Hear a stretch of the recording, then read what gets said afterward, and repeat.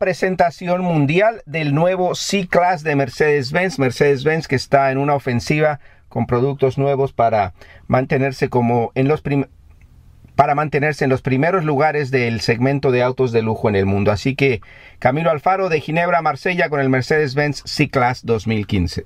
And we're here in Marseille, France. With a very special guest, Rob Moran, Director of Communications for Mercedes-Benz. And we're, today we're testing out the all-new 2015 Mercedes-Benz C-Class.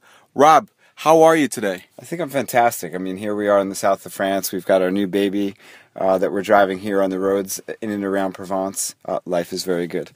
I would have to agree with you. Life is very good. It's very special to be here in the south of France, and especially with this new C Class. I mean, this is a very special vehicle for Mercedes Benz. Yeah, this is a car, uh, probably our biggest launch that we have for uh, 2014.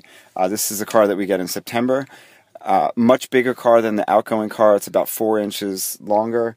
Uh, it's made out of aluminum construction, brand new engines, uh, also 4MATIC that we have with both of the engines that we launch. But also very important, this is the first time uh, marking production this this year that the C class will be built in the U.S. It'll be built in our facility in Alabama where we make our SUVs.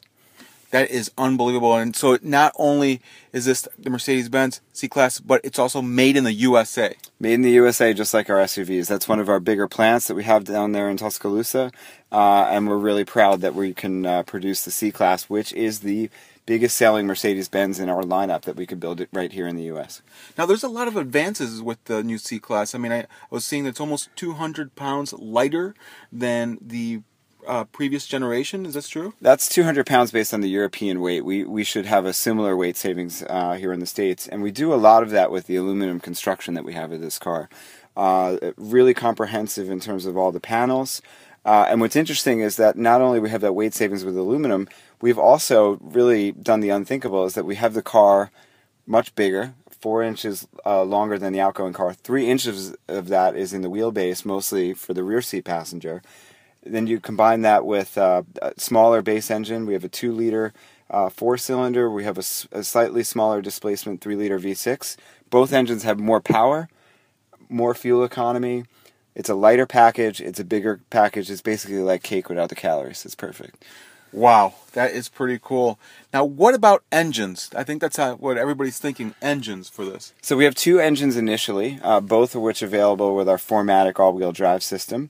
Uh, we have the C300, which is a 2 liter turbocharged direct injected four cylinder engine. That's uh, 241 horsepower. And then we have our 3 liter V6 twin turbo now. That's a brand new engine that we have for the States lineup. Also with 4MATIC, 329 horsepower. So significant power, significant fuel economy, and uh, just a great overall package with this beautiful new shape. Now, my biggest question for this is what about C63? What about the AMG version? Are we going to be seeing one of these? I think if you look into the future, I think you'll be pleasantly surprised by what we have. You look at this beautiful canvas.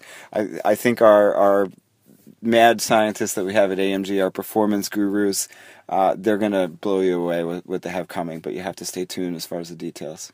Well, you heard it here. So thank you so much, Rob for having us here at the program and for being on the show. Uh, back to you, Javier.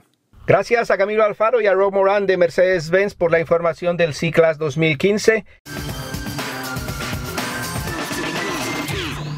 Este programa fue una producción de National Latino Broadcasting.